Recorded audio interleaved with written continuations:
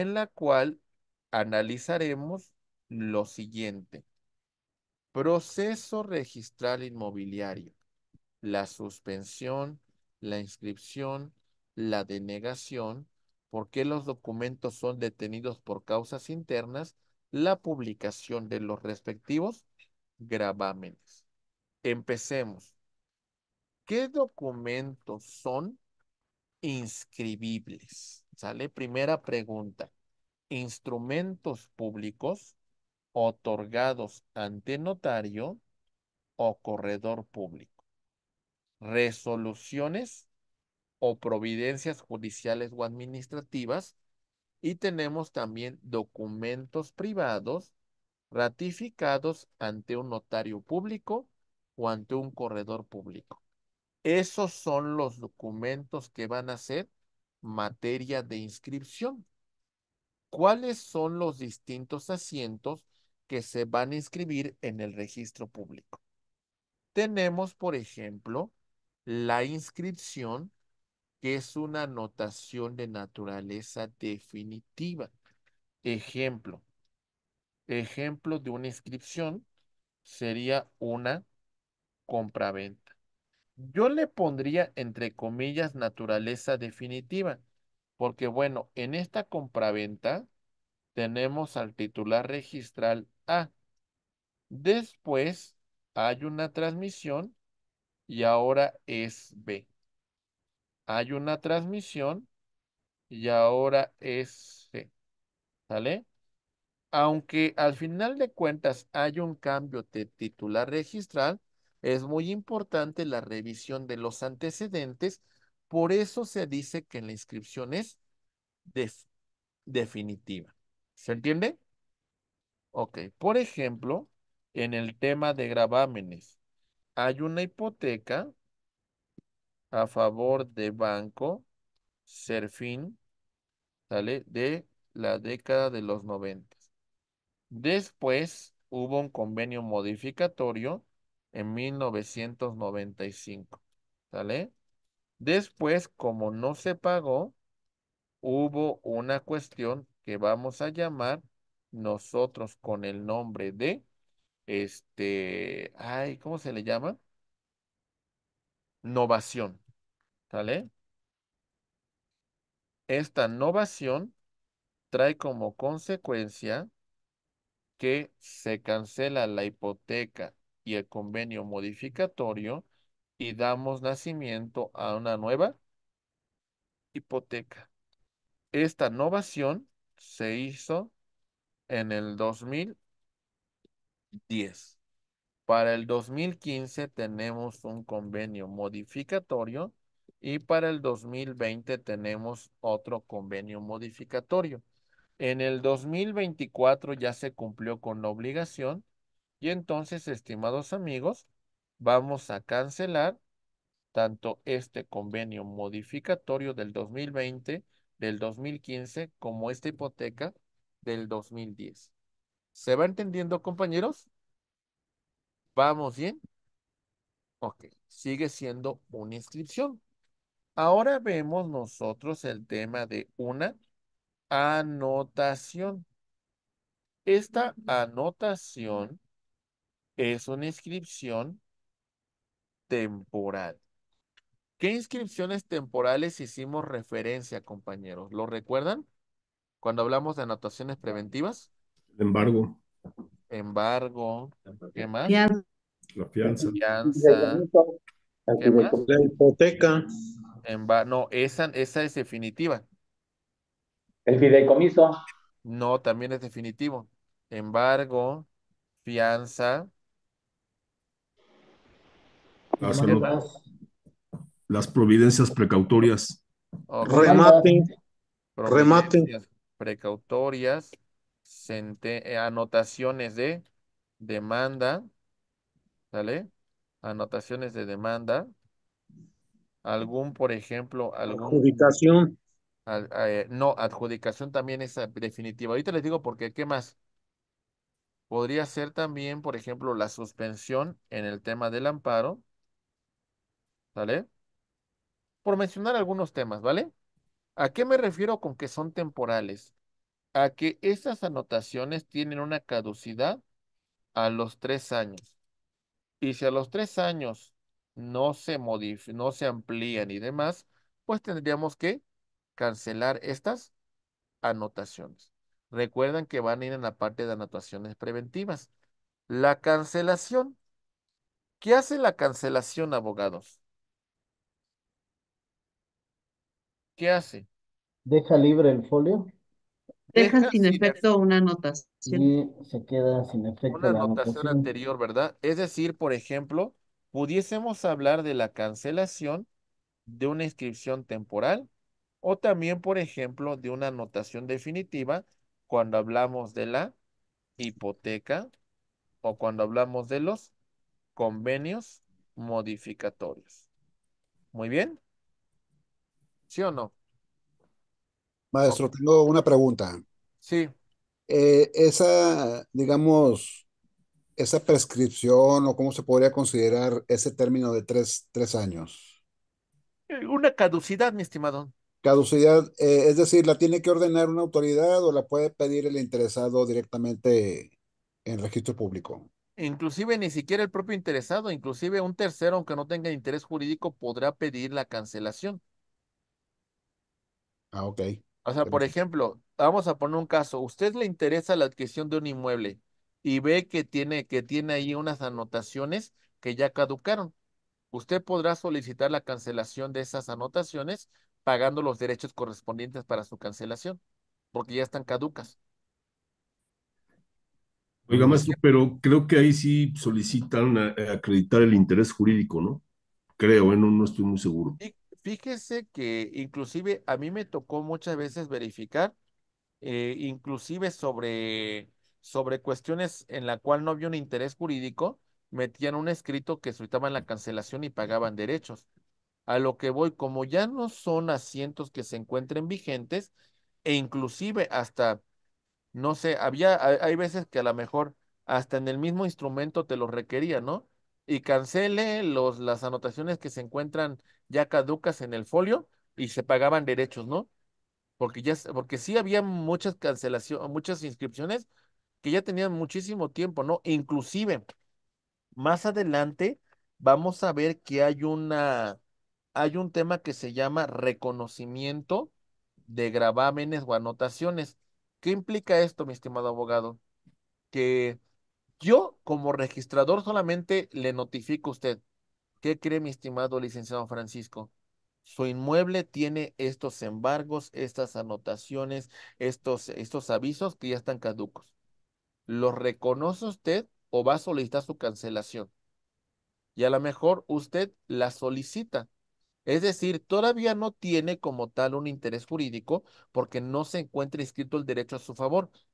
O sea, sí tiene un interés, pero digamos, tiene un, un interés sobre el inmueble, pero todavía no tiene ese interés jurídico, material. Entonces usted me puede pedir que, que yo, que reconoce los gravámenes o va a meter un, un instrumento, va a meter un, un trámite por aparte en la cual usted los va a cancelar antes de que se haga la inscripción, ¿me entiende? ¿Por qué? Porque ya no están vigentes y hay que cancelarlos. O también reconocerlos y continuar con ellos, no hay problema, ¿no? Es decir, es una cuestión, es una decisión que al final de cuentas no afecta la transmisión del inmueble. Una cuestión importante también tiene que ver con la rectificación. Y vamos a verificar si el error maestro. es... Mande, mi estimado. Maestro, nada más para una cuestión. Eh, ¿correría la misma suerte de este cálculo de la cancelación? Digo, es que no, no, ahorita lo que comenta usted no encuentro excepción alguna, pero me gustaría compartirlo para eh, preguntarle, ¿no? A ver, Este, eh, ¿correría la misma suerte la anotación de la investigación de algún tipo de delito? ¿la anotación de qué? de, de algún, por ejemplo, una carpeta, bueno, hoy carpeta de investigación, antes anotación, eh, digo antes, este, averiguación previa, correría el mismo, eh, la misma temporalidad de los tres años para el caso de la investigación de ese tipo de delitos. Me refiero básicamente a cuando alguien usurpa la personalidad del titular registral, evidentemente el titular registral o diferentes delitos, ¿no? Pero para uno en específico, usurparon la personalidad de- del titular registral, eh, genera obviamente una denuncia, se genera la anotación por parte del agente del Ministerio Público porque se está generando una investigación eh, digo, correría la misma temporalidad, se contaría a partir del mismo momento que quedara inscrito el oficio o existía obviamente algo diverso, ¿no? Digo, pensando más que nada en la circunstancia de que hablamos de que un delito a veces pues, tarda tiempo en, integrarse tanto antes la averiguación previa como en la carpeta de investigación. Ah, fíjate qué interesante, porque ya ve que ahorita también este, tenemos como parte del proceso el tema de, de el procedimiento de extinción de dominio, ¿no? Que también hasta cierto punto tendríamos que, que, que inscribirlo como una anotación preventiva, hasta en tanto no se determine por parte de la autoridad si efectivamente va a haber una transmisión a favor del Estado como consecuencia de la comisión de un hecho delictivo y bueno, transmitir la propiedad, ¿no? En este caso, yo creo que las anotaciones que se hagan como consecuencia de una carpeta de investigación tendrían la misma, el mismo efecto. Al final de cuentas, lo que es importante considerar es, antes de que caduque esa anotación, usted puede solicitar una ampliación. Es decir, aquí tenemos una, una anotación preventiva que se inscribió en el 2021. Para el 2024, esta va a dejar de tener efecto, que la misma caduque. Usted solicita una ampliación para, el, para que esta tenga pues una temporalidad de otros tres años para llegar a 2027. Es decir, usted sí puede pedir ampliaciones sobre las mismas. Entonces, solamente hay que estar atentos. ¿Qué tendría que hacer la fiscalía? Si ya está a punto de caducar su inscripción, pues pedir la ampliación, ¿no? Nada más. Equivale a una reinscripción, maestro. equivale como un tema de una reinscripción, exactamente. Ok.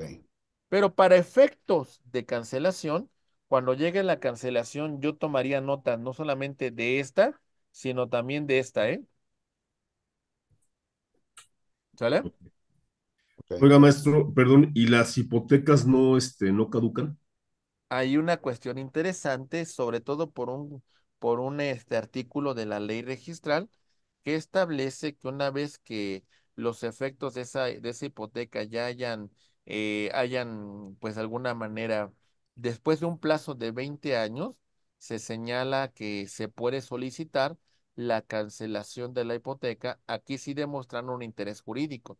Es decir, no lo sé. Y fíjate que yo, tuve, yo tenía muchas dudas porque dije, bueno, a ver, esta hipoteca vamos a suponer que la constituyó usted por ahí del año 1995, ¿no? Y la hipoteca tiene una vigencia de 30 años, ¿no? Y bueno, la, la anotación. Y resulta que para efectos de registro, a mí me tocó muchas veces que ni siquiera se tomaba esta consideración de los años, sino al final de cuentas, desde su inscripción a este punto, por ejemplo, si usted en 2024 pide la cancelación, ¿qué cree? Que, el, que, podrés, que puedes solicitar la cancelación, inclusive en un escrito simple y pagando los derechos correspondientes. Salvo que hubiese, por ejemplo, alguna cuestión de que hubiese venido un convenio modificatorio o algún otro acto de ampliación de hipoteca, pues bueno, los efectos se van a prolongar. Pero sí son 20 años a partir de la inscripción para verificar el tema de su cancelación, mi estimado. Gracias, maestro. ¿Sí? Sí, sí, gracias. ¿Sí? Profesor, una duda. ¿Su- ¿Surte los mismos efectos para una li- liberación de custodia? Ah, no, la liberación de custodia, pues nada más lo que va a permitir la liberación de custodia es que el, el inmueble continúe en el tráfico inmobiliario, ¿no? Y que pueda ser objeto de alguno de los actos jurídicos que hemos señalado. Ok, gracias. ¿sí? A sus órdenes. ¿Vamos bien hasta aquí? ¿Sí? Sí. Muy bien. Ok. Bien. Este, bueno, la rectificación puede ser por error material o error de concepto. Eh, yo les diría que el registrador sí tiene la obligación de hacer una rectificación de oficio cuando tenemos un trámite que ha ingresado. ¿A qué me refiero con esto? Ahí les va.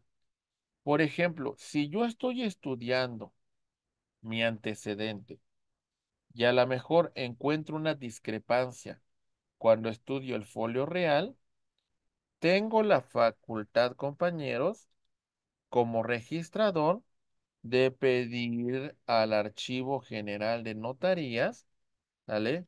Me expida copia certificada de un antecedente y si de esa copia certificada yo verifico que si hubo un error en el registro público, con vista a esta escritura, con vista a la, a la escritura que ingresó, hago una rectificación y hago la aclaración de oficio.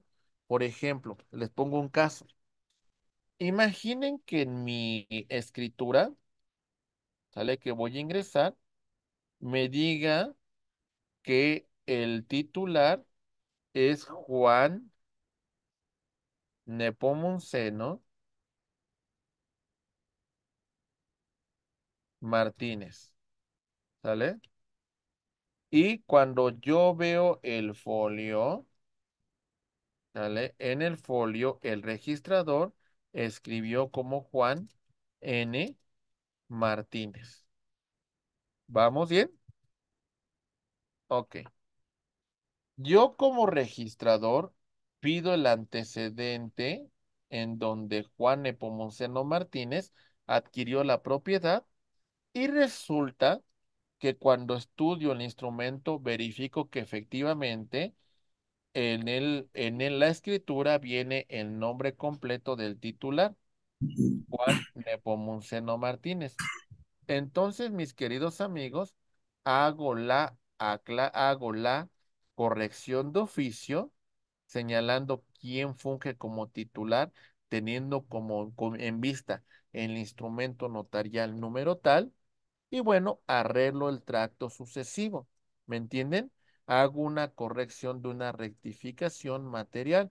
Si tengo los documentos, si tengo los elementos necesarios, me parece que lo puedo hacer. ¿Sale? No tengo por qué esperarme a que el particular la haga por aparte. Y el, el error de concepto es mucho más grave, ¿eh? Es mucho más delicado. A ver, ¿cómo está eso? Por ejemplo, les platico de un caso. Se jurídicamente se constituyó un fideicomiso, ¿sale? En la cual, vean, vean la, la situación tan importante, en la cual A, como titular, le constituye un fideicomiso a, favor de Banco Invex. ¿Ok? ¿Hasta aquí vamos bien? Ok. Sin embargo, el, el registrador no inscribió este trámite como un fideicomiso.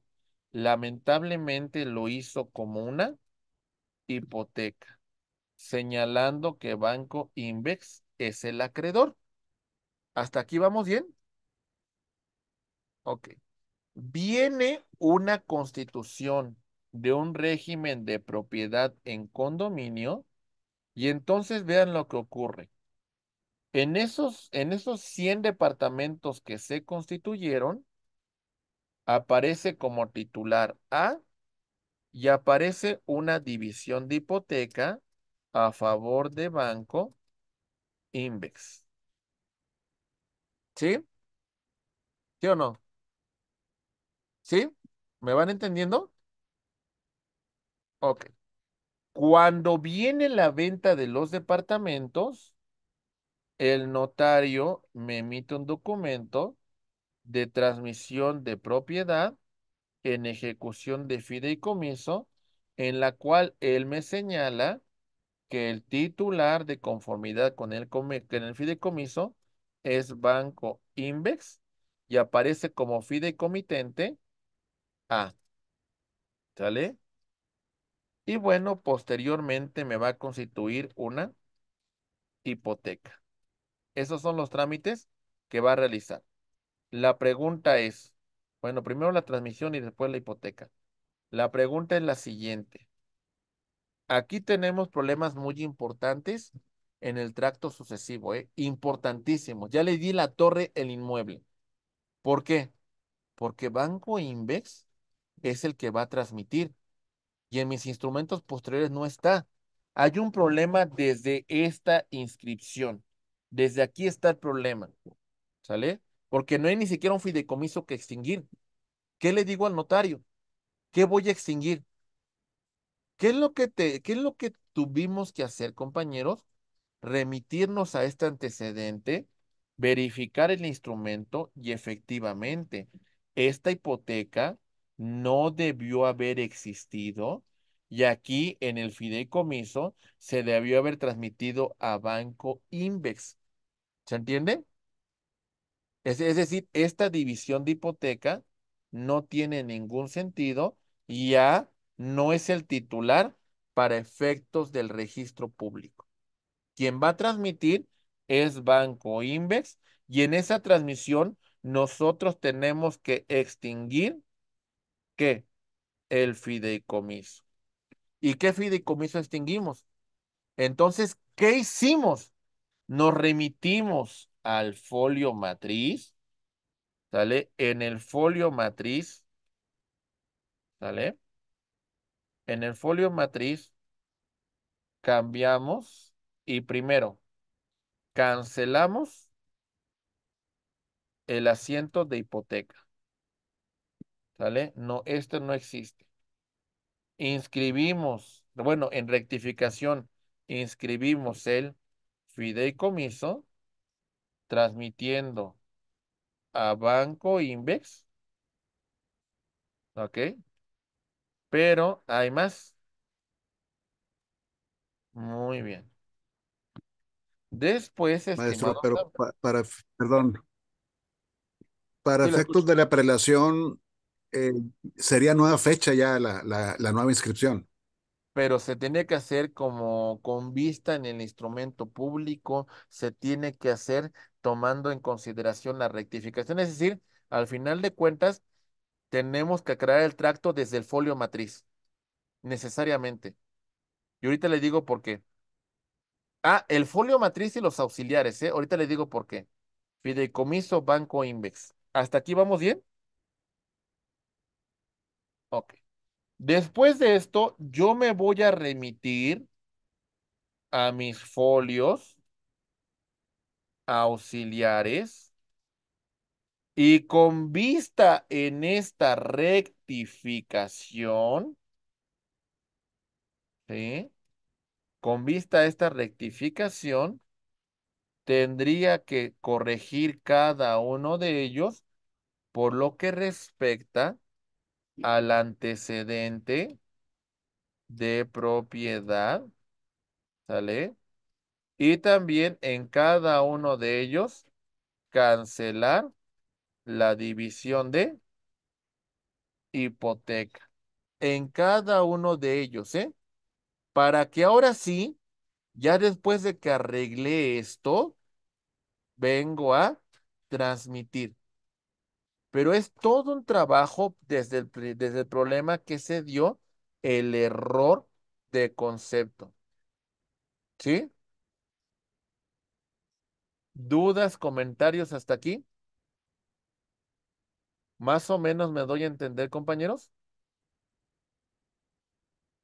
Bueno, todo Sí, esto es, sí, todo profesor.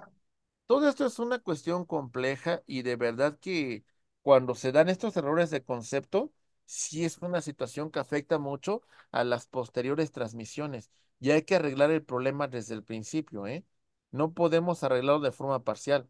Tenemos que hacerlo sobre la totalidad del folio matriz y después sobre los folios auxiliares. Muy bien. La denegación, bueno, eh, ahorita que regresemos de, de los alimentos, ya continuamos con denegación y suspensión público. de la propiedad, ¿vale? ¿Qué revisamos, compañeros, en relación a trámites?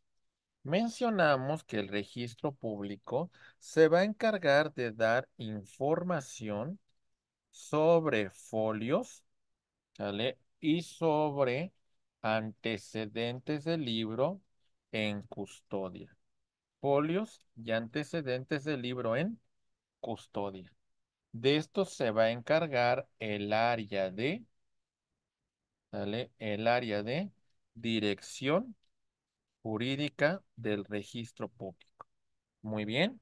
Después analizamos que sobre estos libros, sobre estos folios o libros en custodia, vamos a verificar la cuestión sobre la liberación, ¿vale? Liberación de esos libros en custodia. También esto a quién se le encomienda, se le va a encomendar al área jurídica. Hablamos también la obligación que tiene el notario para este, inscribir su, eh, su sello, su firma, su patente. Hablamos también referente con la transmisión de propiedad. ¿Ok? En tema de transmisión de propiedad, señalamos que hay ciertos requisitos que deben de agregarse al instrumento principal para que se realice este esta inscripción. Hablamos de libertad de gravámenes, hablamos de zonificación, hablamos de avalúo, hablamos de pago de impuestos sobre adquisición de inmuebles, hablamos de ICR, comprobación de pago de predial, de agua potable, exhibición de pago de derechos, etcétera, etcétera. Muy bien. También, por supuesto, estudiamos que el registro público se va a encargar del tema de inscripción de gravamen y limitación de dominio. Se van a solicitar la inscripción de estos gravámenes como por ejemplo el tema de la hipoteca. Muy bien. Después de estos elementos, hablamos de los asientos que van a cancelar gravámenes cancelación de gravámenes. ¿Qué más revisamos? Hablamos de la inscripción, de lotificación, de subdivisión, de fusión, etcétera, etcétera. Estudiamos la constitución del régimen de propiedad en condominio, que también será materia de inscripción. Y por supuesto, dentro de todo esto, también estudiamos la cuestión de inscripción de fideicomisos. Ok, acuérdense que los fideicomisos se consideran traslativos de dominio para efectos de registro público. Hablamos de la inscripción de embargos, fianzas y demás anotaciones preventivas y por supuesto su respectiva cancelación vamos a pedir distintos certificados, como son los siguientes. Ahí va. Hablamos de certificados. Por ejemplo, señalamos el certificado de inscripción de asientos registrales, inscripción en folios y en libros. Muy bien. ¿Qué más revisamos? analizamos la, y la solicitud del certificado sobre adquisición y enajenación de bienes. Muy bien. ¿Qué más revisamos, mis estimados amigos? Bueno, revisamos la emisión de el certificado. ¿Sale? Ahí va. Muy bien, hablamos del certificado de libertad de gravámenes e inexistencia de, de ellos. Muy bien. Y bueno, estimados amigos, estos son algunos trámites que nosotros revisamos que van a ocurrir dentro del registro público. ¿Cómo se va a cómo se conforma el registro público de la Ciudad de México? Muy bien. Bien. Hablamos que tiene las siguientes direcciones y subdirecciones. La subdirección de ventanilla única en la cual y control de gestión en la cual aquí vamos a ver que van a recibir todos los trámites y se van a asignar al área que corresponde. Tenemos la dirección de inmuebles públicos, inmuebles, ajá, y registro de programas. Inmuebles públicos y registro de programas. Muy bien. Después hablamos de la dirección, ¿vale? De proceso registral inmobiliario, proceso registral inmobiliario y comercio. Dividimos en la subdirección de proceso registral inmobiliario con las 13 jefaturas de unidad departamental A, B y C. Y tenemos la subdirección de comercio y registro de organizaciones civiles, que también hemos planteado con antelación.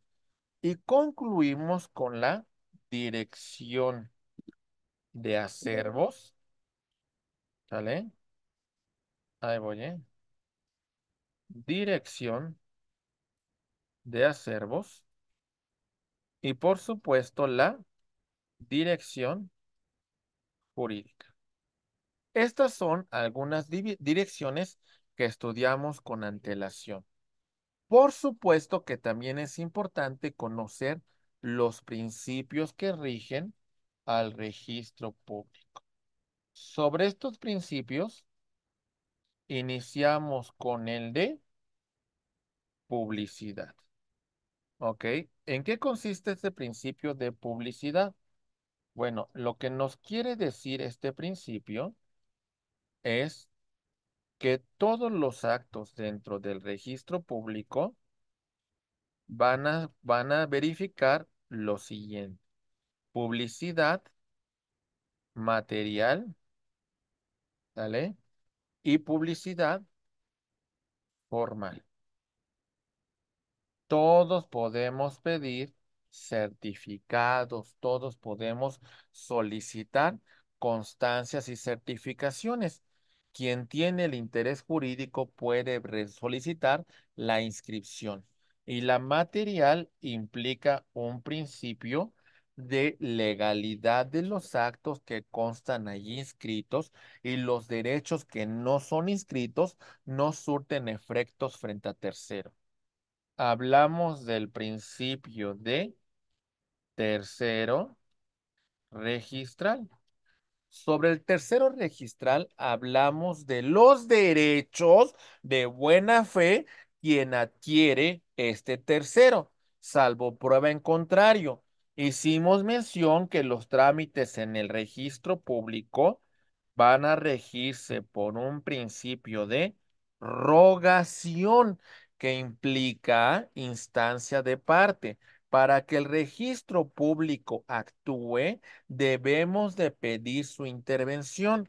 Hablamos de consentimiento en el orden de que tenemos un titular registral a favor de quien se encuentra inscrito el derecho. Hablamos del principio de legalidad que implica la calificación que realiza el registrador, que tiene que ser no solamente de forma, sino también ser una calificación de fondo. Y concluimos con el principio de prioridad. Muy bien. Ok. Estos son temas bien interesantes que hemos venido analizando. Por supuesto, recordemos que el registro público de la Ciudad de México y de muchos de nuestros estados es un registro con efectos meramente declarativos. El acto jurídico existe y se materializa con antelación.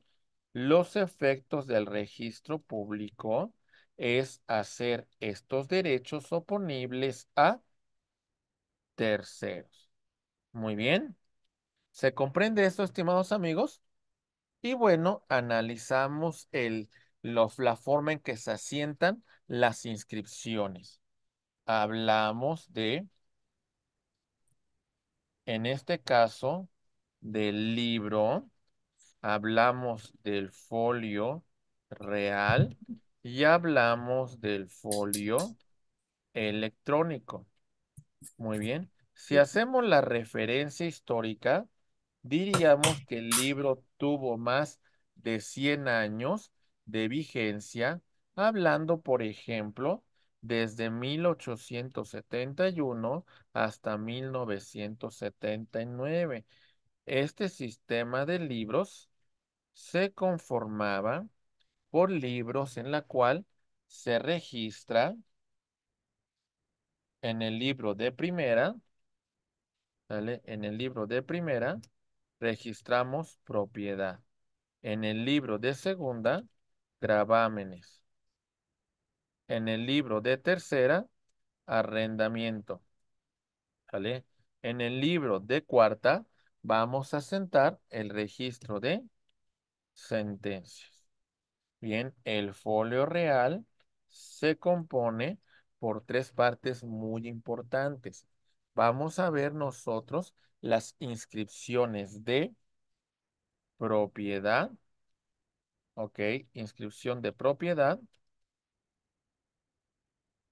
Muy bien. Inscripción de gravámenes. Y las anotaciones preventivas. Bien. Y mencionamos el folio electrónico que tiene anotaciones que van a llevar una secuencia, una prelación, cada una de ellas. Muy bien. Ok. Estimados amigos, en relación al proceso registral, señalamos la inscripción. Ok.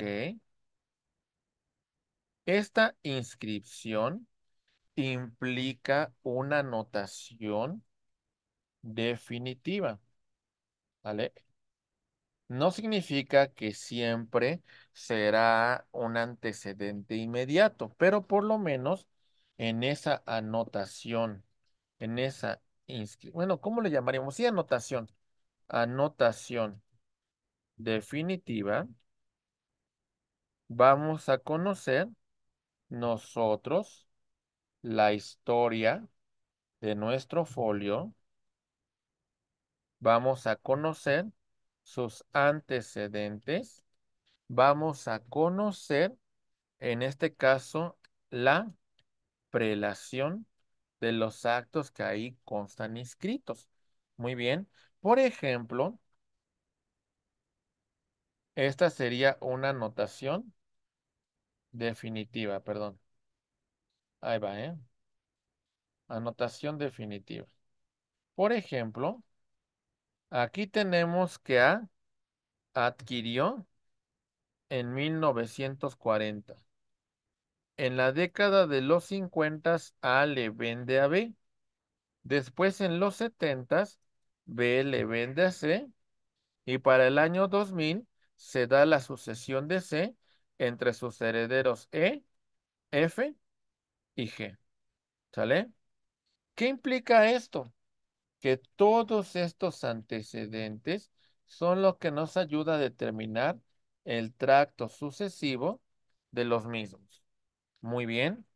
Hablamos de la notación que señalábamos que la anotación tiene un efecto de naturaleza provisional, temporal.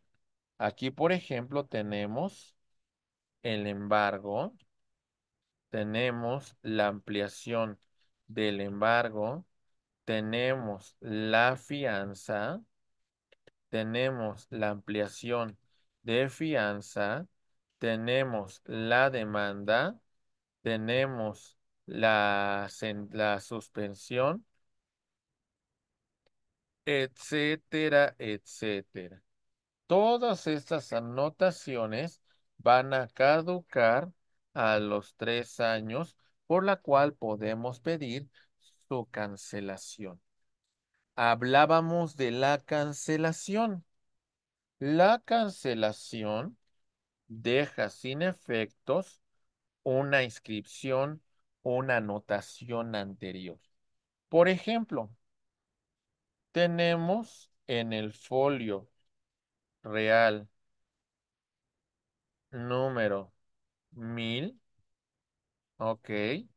Aquí vamos a encontrar que nuestro folio, nuestro titular es A. Y existen una hipoteca a favor del Banco Mexicano. Ok. Y tenemos un convenio modificatorio, otro convenio modificatorio. Y bueno, cuando hacemos la cancelación, vamos a cancelar el principal, pero también sus respectivos accesorios. ¿Sale? La cancelación abarca no solamente inscripciones, sino también la cancelación de anotaciones. Muy bien. Después de esto, llegamos al tema de la rectificación. Sobre la rectificación, hablamos de una rectificación de error material. ¿Vale? Y tenemos una rectificación que destacábamos como un error de concepto. Ok. Error material. Platicábamos. Hay un error en el nombre. ¿Sale? Hay un error en el apellido. Hay el error de algún antecedente que podemos aclarar. Y en el error de concepto, la situación es más delicada. Por ejemplo, eh, tenemos figuras jurídicas que son entre sí contrapuestas. Y entonces esto genera un error de concepto como en el caso que vimos de fideicomiso. Después de ese breve comentario de introducción, recuerden que tenemos la, la denegación, que esta sería una, un desechamiento de nuestra solicitud de inscripción. Es decir, desde que yo presento, ¿sale? Mi número de entrada y trámite, verifico lo siguiente. Ingreso mi documentación y resulta, mis queridos amigos, que en este caso va a venir una negativa. ¿Sale? Ahí voy. Dame un segundito. Ok, ahí ve. Ahora sí. En este caso, entonces, desde que yo ingreso a trámite mi solicitud, hay una negativa a admitir la misma a trámite. ¿Vale? Ahorita mencionamos algunos motivos de denegación de solicitud de inscripción y llegamos al punto de la suspensión. Un defecto que puede ser subsanable por las partes me dan un plazo de 10 días hábiles para aclarar el motivo de la suspensión. Pregunta hasta aquí, compañeros. ¿Se entiende? ¿Sí? Sí. Sí, muy bien. Ahí va. Ahora sí. Proceso registral inmobiliario. Recepción del documento. El registrador tiene el documento en su poder y puede hacer las siguientes determinaciones con el documento. ¿Listos? Primero, la suspensión, la inscripción, la denegación, detenido por causas internas y publicación de gravámenes. Primer elemento, la suspensión. ¿En qué consiste? Ahí va. El documento tiene defectos subsanables. Tenemos que fundar y motivar el motivo de suspensión porque va a ser eh, notificada en el boletín registral. El término para aclarar la suspensión es de 10 días. Varios supuestos que se pueden presentar aquí. Primer supuesto. Se presenta subnúmero aclaratorio. ¿Sale? ¿Qué va a pasar, compañeros, si se presenta un subnúmero que aclara el motivo de suspensión? ¿Qué ocurrirá? Pues algo muy similar que lo que ocurre cuando nos previenen en una controversia jurisdiccional.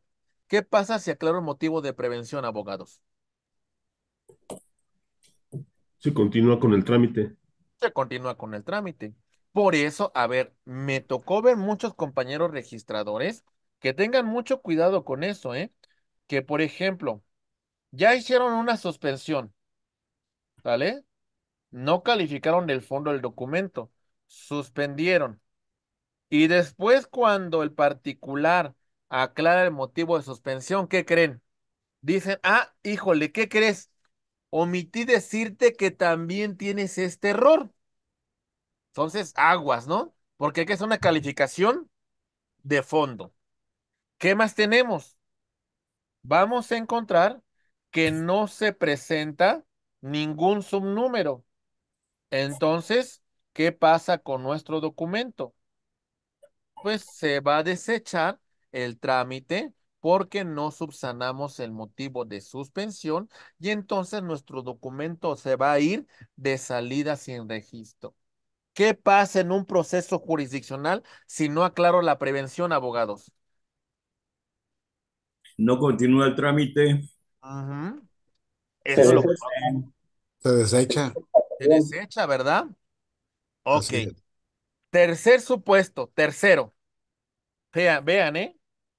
No se aclara, metemos un subnúmero que no aclara el motivo de suspensión. La pregunta, ¿sí les queda claro que es un subnúmero, compañeros? No. No, a ver, ahí va.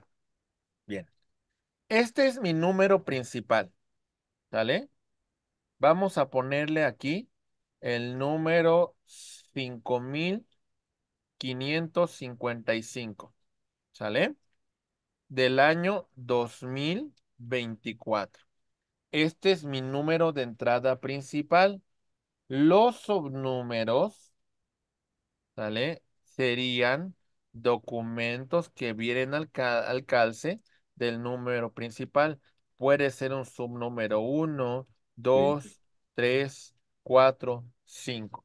Y el objetivo es este, aclarar alguna discrepancia, aclarar algún motivo de suspensión. Tienen por objeto dar alcance al número principal. ¿Se entendió? Sí. Sí, muy, muy bien. Ahora sí, empezamos. Se ingresó subnúmero, pero ese subnúmero no aclara el motivo de suspensión. ¿Vale? A ver, vamos bien. Lo ingresé, pero no fue suficiente. No aclaró el motivo. En este caso, el registrador tiene que darle otros cinco días hábiles para que el particular argumente en contra de esa calificación. ¿Ok? Por ejemplo, ahí les va. ¿Qué pasaría si mi motivo de suspensión es de que no se pagaron los derechos correspondientes, que, le, que no fue suficiente, que pagaron derechos por 15 mil pesos de registro y realmente asciende la cantidad de 30 mil pesos. Y resulta que cuando yo hago la suspensión, pues me ingresa un subnúmero y me dice, ¿sabes qué, registrador? Tú te equivocaste. No corresponde pagar ninguna otra cantidad. La cantidad que pagué es suficiente. Me presenta argumentos. Entonces, con ese subnúmero, yo tengo que darle otros cinco días para que, pues, de alguna manera pueda argumentar sobre la calificación. Sobre todo para que el, el particular se prepare para un recurso de inconformidad. ¿Sí, me, sí nos vamos entendiendo con estos conceptos, abogados? Sí. ¿Sí? Muy Sí. bien. Ok, ahí va. Esta es la suspensión. Vámonos ahora con otro trámite que tiene que ver con la inscripción. Ahí va. Inscripción. En esta etapa, el inscribidor, bueno, pues más bien se le asigna un inscribidor o en todo caso el propio registrador realiza la inscripción. Si no mal recuerdo, poco a poco esta figura ya viene desapareciendo, ¿eh? Para que solamente quede en manos de un registrador. Eh, el asiento se firma electrónicamente por el registrador, cumpliendo los requisitos de fondo y de forma, y bueno, eh, se firma electrónicamente con la constancia de finalización de trámite, se boletina para establecer el estatus de trámite agotado, y bueno, el particular interesado pueda recoger su documento. Entonces, la inscripción va a proceder cuando el registrador ha hecho una calificación de fondo y forma y determina el trámite del registro. El registrador procede a hacer el asiento y bueno, lo firma electrónicamente y de esta manera va a constar en el sistema. Hay que notificarle al particular para que recoja su trámite. ¿Se entiende? ¿Sí? Muy bien. Tercero, denegación. Ok, ¿por qué se denegaría un trámite? Uno, porque el antecedente se encuentra en custodia. ¿Sale? Hay que pedirle al área jurídica que nos informe por qué el documento se encuentra en custodia. Dos, acto ya inscrito. ¿Quién me puede decir en qué consistirá este, abogados? ¿En qué consistirá?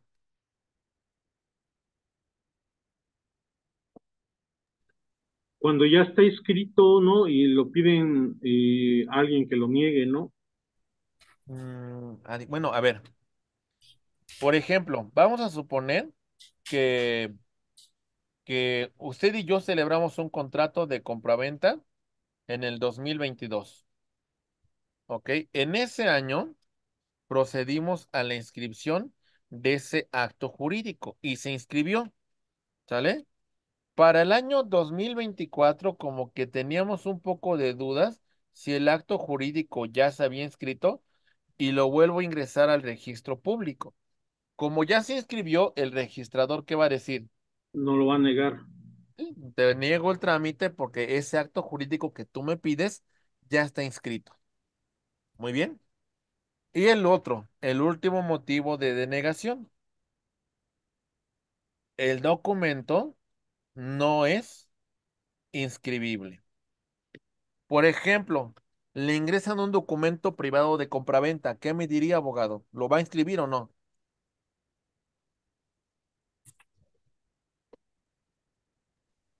¿Qué Pues dirían, sí, ¿no? Sí, ¿no? Se- ¿Seguros? Contrato privado de compraventa. Eh, no, En- maestro, porque tendría que Es ser en escritura pública. ¿Tendría que ser en qué? En escritura pública. En escritura pública, exactamente. Entonces, en este caso, se va a decir que el trámite es no procedente. ¿Sale? Sí. Se va a denegar. Muy bien. Estimados amigos, en todos estos casos que hemos planteado, se puede presentar recurso de inconformidad. El plazo para la tramitación del recurso de inconformidad será un plazo de 15 días. ¿Ok? Y si estamos no conformes con el recurso de inconformidad, podemos nosotros pedir una, una, un, un juicio de nulidad eh, o un juicio o un procedimiento contencioso administrativo en la cual se declare la nulidad de esta determinación que ha emitido el registro público. Seguimos. Perdón, Con- maestro, Sí, perdón, una pregunta. Eh, eh, ¿podemos optar en lugar de juicio de nulidad por el juicio de amparo? mm, me O- parece que no, ¿eh? Porque hay recursos pendientes por desahogar. Entonces, ya acuérdese que acuérdese el principio de De definitividad. definitividad. Ok, O sea, hay que agotar este recurso de inconformidad. No está conforme usted, se va al, a- ante El el Tribunal. Federal, eh, al Tribunal Contencioso Administrativo y no le favorece, ahora sí, ya podrá usted irse al juicio de amparo, salvo que se afecte un derecho sustantivo y que eso lo deje en estado de indefensión, entonces pudiese promover un amparo indirecto, ¿no? De acuerdo. Gracias, ¿Sí? maestro. Ok, a sus órdenes. Eh, bueno, el siguiente, detenido por causas internas. A ver, otra calificación del registrador. El registrador califica el documento y dice, bueno, este, del todo no cumple con los requisitos que se necesitan. Voy a detener el documento porque voy a pedir documentación an- accesoria que no tiene el particular, sino que tienen otras autoridades. Y sobre esa documentación, ya como registrador, puedo suspender, inscribir o denegar. A ver, empezamos. Más o menos tienen una noción qué es lo que estoy haciendo, compañeros. Sí. A ver, vamos a hacer un ejemplo. Bien, estoy calificando un documento de una compraventa. En esta compraventa, en la escritura, me señala el notario que vende Felipe, Felipe Héctor Martínez Ramírez. ¿Sale? Y esto me dice el instrumento notarial. Cuando yo estudio el folio, me aparece como, eh, como titular a Felipe H. Martínez Ramírez. Muy bien. Entonces, hay una discrepancia. Tengo la manera, al ser un instrumento público de la Ciudad de México, de pedirle, en este caso, este instrumento donde consta esta inscripción, se la voy a solicitar al Archivo General de Notarías. ¿Por qué solicitar ese antecedente, abogados? ¿Para qué lo hago? Para confirmar la identidad de que sea la misma persona, aunque se inscribió con el, eh, puso el H nada más y ver que es la misma persona con la que se va a conceder el registro. Y en todo caso procede a la, en este caso a la rectificación, amigo. Porque no me basta con que yo conste que sea la misma persona. Tendría que aclararlo en el folio, ¿eh? Ese es el punto. Tendría que aclararlo en el folio. Si cuando me llegue el documento del Archivo General de Notarías, verifico efectivamente que el dato correcto es el que dice el notario, entonces con vista a este antecedente, a este, a este testimonio, ¿sale? Y con el, con, el número de entrada con la cual ingresó el documento, voy a proceder a hacer una rectificación y después de la rectificación, ahora sí, abogados, hago la compraventa. ¿Se entiende?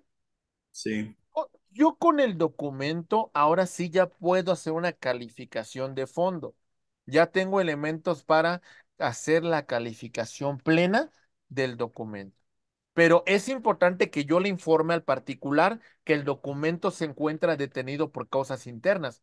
Porque, por ejemplo, si alguno de ustedes ve en el boletín registral que el documento se encuentra detenido, pues de alguna manera tienen que pensar que el registrador solicitó algún otro o algún, algún documento, alguna, alguna cuestión que tenía alguna otra oficina y que era muy importante para qué abogados. Pues para hacer la calificación de fondo del documento. ¿Se comprende? Sí. Sí, muy bien. ¿Dudas, comentarios? ¿Está claro? Sí. Muy bien. Ahí va. Bien. Ok. Publicación de gravámenes amparada por el artículo 84 del reglamento. Gravámenes, anotaciones preventivas que ya no están vigentes, ¿vale? ¿Qué hay que hacer? Bueno, califico mi documento y, y verifico que hay anotaciones preventivas, que hay gravámenes que ya no están vigentes. Se los tengo que notificar al particular, al interesado. Ok. Y el interesado, estimados amigos, podrá proceder a lo siguiente. Mucha atención, por favor. El interesado podrá reconocerlos en su número, ¿sale? O podrá no reconocerlos. En ambos casos se procede a su inscripción. Es decir, no es un motivo para no realizar la inscripción del acto jurídico. Comentarios, abogados, dudas. ¿Se entiende? ¿Sí? Muy bien. Ok.